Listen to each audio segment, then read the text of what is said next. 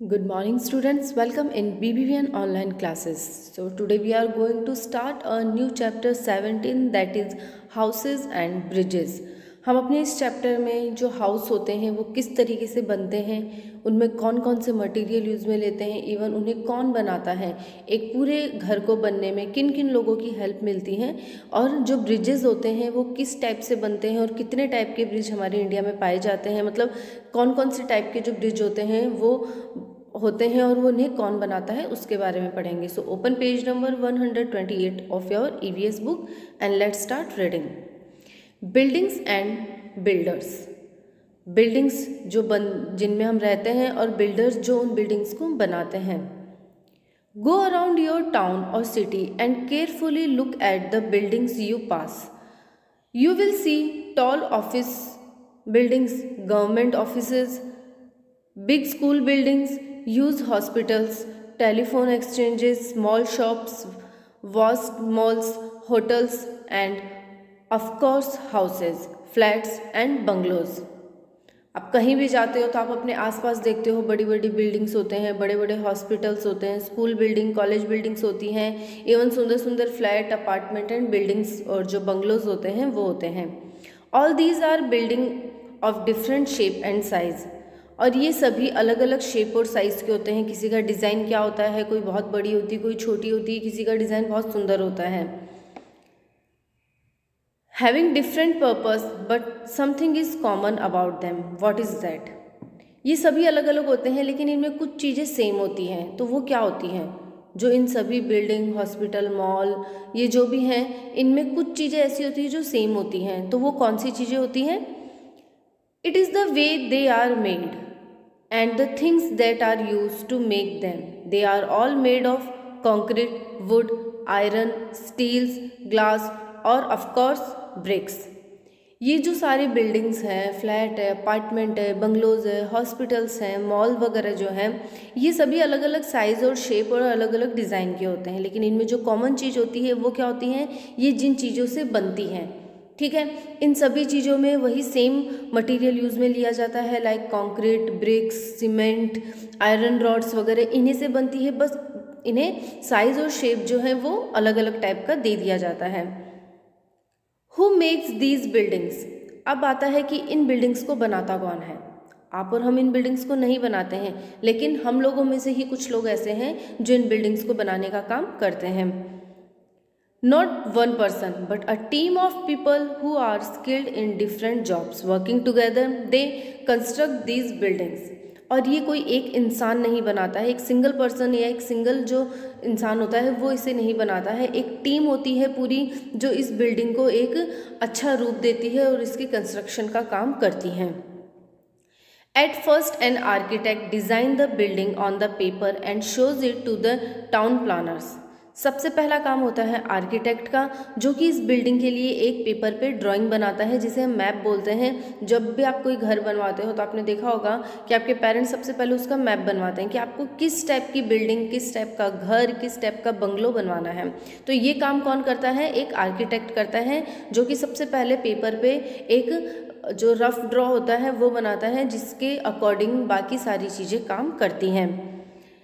They decide whether the design is suitable. At times changes are suggested before giving the final approval.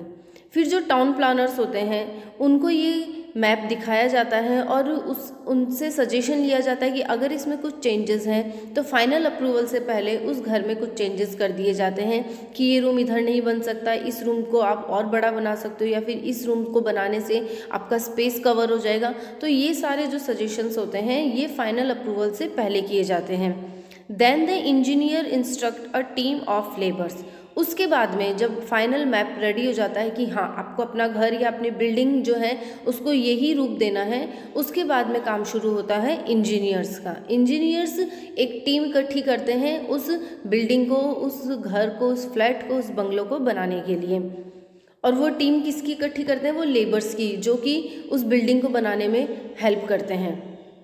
Under his or her supervision, they lay the foundation of the building and put in place iron girders.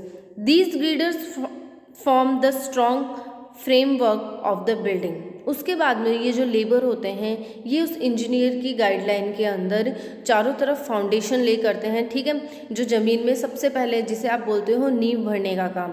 कोई भी building या कोई भी घर बनाने से पहले उसकी नींव भरी जाती है, जिसके बिहाफ पर, जिसके बल पर वो पूरा घर टिका हुआ रहता है। तो सबसे पहले उन लेबर्स का क्या काम होता है? वो सबसे पहले चारों तरफ़ वो फाउंडेशन जो होता है, जो दीवार आपको नींव भरी जानी होती है, वो भरते हैं और उसके बाद में जो ग्रिल है ना आयरन रोड जैसी होती हैं, वो सॉरी जो ग्रीडर्स होते हैं, वो लगाकर उसको चारों तरफ़ एक फ्रेम का रूप देते हैं, जिसकी हेल्प से वो लोग बाकी के घर को कंस्ट्रक्शन का काम कर पाते हैं।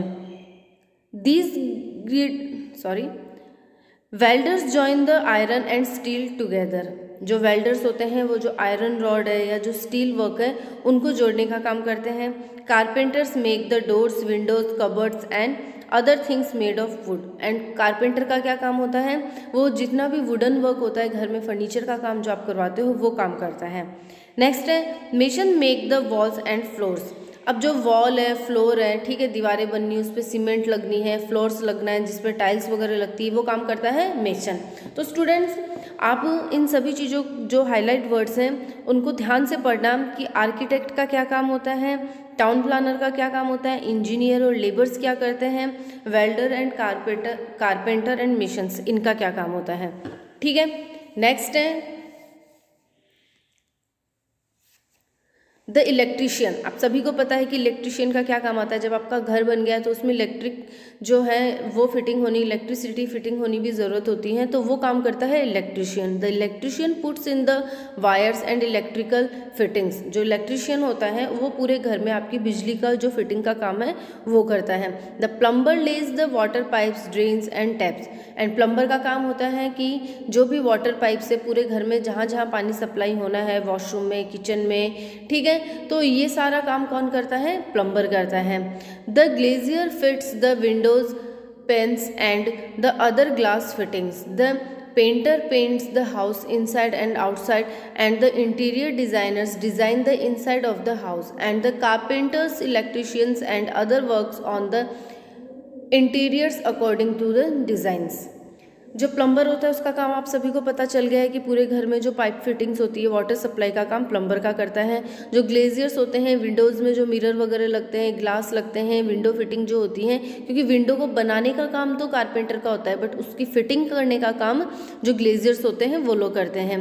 पेंटर का काम आप सभी को पता है, आप अपना नया घर बनवाते हो, उसके बाद उसमें पेंट करवाते हो आउटसाइड इनसाइड दोनों तरफ़ तो वो काम करते हैं पेंटर अब है इंटीरियर डिज़ाइनर्स इंटीरियर डिज़ाइनर्स कौन होते हैं? आपने अपना घर बनवा लिया, उसमें इलेक्ट्रिसिटी की फिटिंग करवा ली पाइपलाइंस डलवा ली हैं ठीक है डोर विंडो सब करवा लिए हैं बट अपने घर को एक सुंदर डिज़ाइन देने के लिए, ठीक है? इंटीरियर डिज़ाइन कहाँ क्या रखना है, कहाँ पर आपको बालकनी बनानी है, कहाँ आपको गार्डनिंग करनी है क्या क्या चीज़ें डिज़ाइन करके आप अपने घर को बहुत अच्छा लुक दें, ये काम करते हैं इंटीरियर डिज़ाइनर्स और इन्हीं के अंडर में जो इलेक्ट्रिशियन है प्लम्बर है, और जो अदर वर्कर्स हैं, वो काम करते हैं कि कहाँ पर आपको कैसा बल्ब लगवाना है, कहाँ पर आपको कैसी लाइट फिटिंग करवानी है।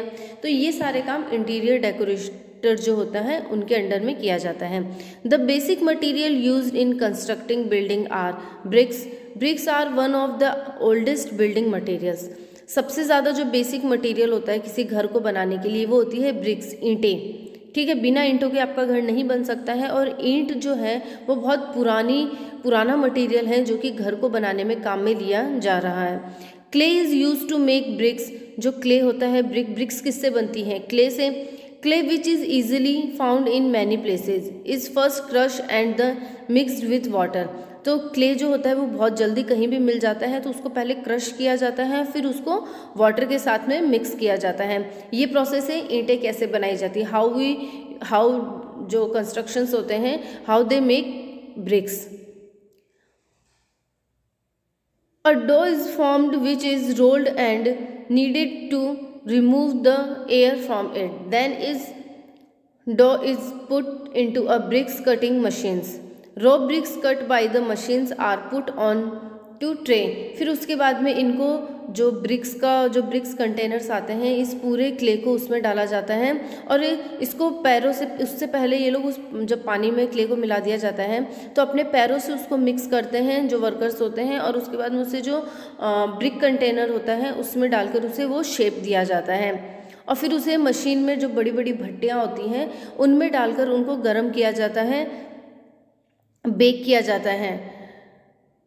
One on top of the other and baked in a kiln they must be baked slowly or else they would crack उन्हें बड़ा धीरे धीरे बैक किया जाता है, जो क्ले को शेप दिया था।